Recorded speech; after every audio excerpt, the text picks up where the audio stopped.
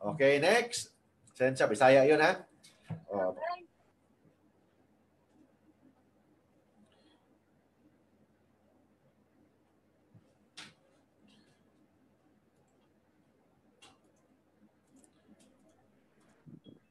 Okay, next.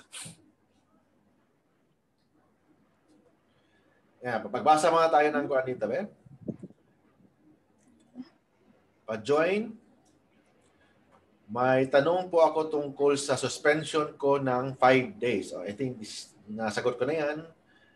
Ah, okay. While waiting for you to go home here, God, I don't know how to install. Ah, uh, sorry, attorney. To install the Zoom, click nyo lang sa taas, pwede kayong mag-install dyan. Automatic naman sa cellphone yan. Or magpaturo kayo how to install Zoom para you can participate in this discussion. Okay? Yes, Ellie 25. Oh, Ellie 25. Good afternoon po, attorney. Y- yun ba talagang pangalan mo? Ellie 25? Michelle po, Michelle. Ah, Michelle. Oh, anong problema, Michelle?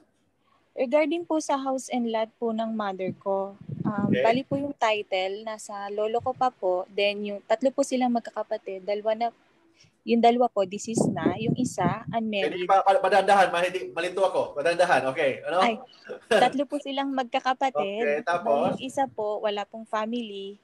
Then, yung isa po, may dalawa pong anak. Okay. Tatlong, So- tatlong magkapatid. Tapos, Apa. ano nangyari sa tatlong kapatid na yan? Bali, yung pong house and lot na tinitirhan po ng mother ko, Okay. Um, gusto niya pong, ang mangyayari po, babayaran niya yung dalawang anak para sa kanya na po yung nakapangalan yung house and lot. Kanino nakapangalan yung property? Sa lolo pa po. Sa lolo. namatay na? Opo. Okay. Ang unang gagawin dyan, Bali, ang unang gagawin dyan, kasi namatay na, gagawa kayo ng extrajudicial settlement. Then bayaran niyo yung lahat ng mga buwis para ma-transfer ang property. Okay, sa sa second second batch or yung mga anak, yung tinatawag na extrajudicial settlement. Kasi may babayaran kayong buwis, yung settlement ng namatay, isettle nyo yung mga inheritance ng namatay bago nyo pwedeng pagkatihatian yung property. Kung magkasundo kayo, yun ang tinatawag na extrajudicial settlement, prepare lang kayo ng isang dokumento. Or kung hindi kayo magkasundo, yun ang tinatawag na judicial settlement of property. Okay? Okay, sige, thank you. po,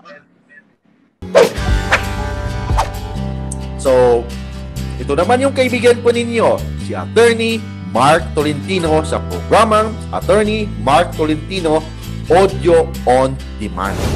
For free legal advice, please call me landline within Metro Manila 7-209-6203. I repeat po, 7-209-6203 and mobile number natin, pwede kayo mag-text, tumawag, or through Viber or WhatsApp sa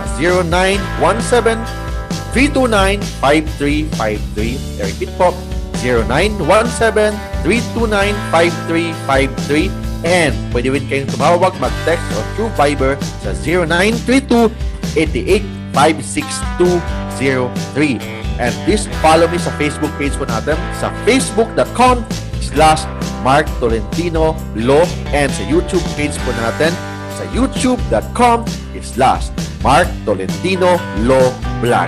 Thank you po for following me and please support all my videos and vlogs. Ito naman yung kaibigan po ninyo, si Attorney Mark Tolentino.